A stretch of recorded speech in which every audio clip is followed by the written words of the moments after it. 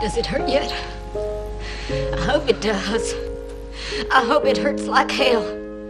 John Coffey, you have been condemned to die in the electric chair by a jury of your peers, sentence imposed by a judge in good standing in this state. Do you have anything to say before sentence is carried out?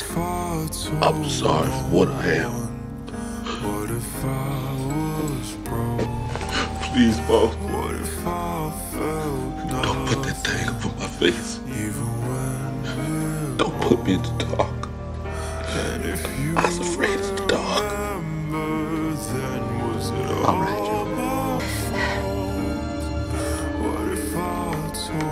He kill them with their love. That's how it is every day.